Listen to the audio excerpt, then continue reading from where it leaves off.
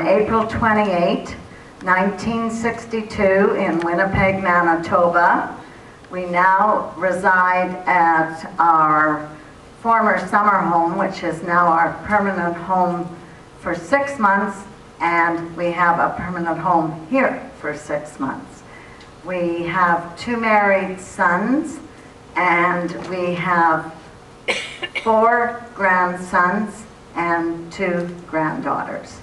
And um, it's not always been easy, but he's pretty good. and um, we do most things together, and we spend a lot of time together, and I don't regret it for one minute.